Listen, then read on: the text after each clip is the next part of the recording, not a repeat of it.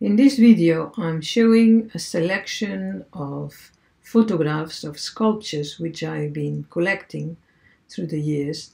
They are all uh, of Saint Sebastian. Saint Sebastian was an officer in the imperial guard of Emperor Diocletian and he was a Christian. In 302 AD, Diocletian subjected the Christians to a brutal persecution, and it was during this period that Sebastian was denounced to the emperor. When asked to sacrifice before a pagan altar, Sebastian refused and was sentenced to death. He was tied to a column before Mauritanian archers who shot him with arrows, but to no effect. Sebastian was strengthened by his faith and did not die. He was finally clubbed to death in front of the emperor. In the Middle Ages, he was said to have power over the plague, and during the Black Death, his cult of grew among the penitent flagellants.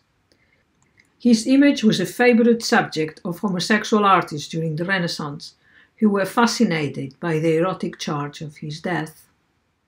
When I was a child, I was uh, it was my little uh, part-time job to clean the local church. In those days, it was a privilege for a little girl to actually be asked to clean the church. Anyway, I didn't think that that was so, but my mother insisted, so I had to do it. And the only thing that I enjoyed of that little activity was cleaning Saint Sebastian, as you can see him in the screen. And I thought he was a beautiful man. I mean, I was very young. I must have been about eight or ten or something. And one day I decided that the the arrows were too gruesome, you know. And so I thought I would remove them. So I did, and I, I hid them. Years later, I was told by uh, someone in the village that for years they, they couldn't find them. And eventually they did.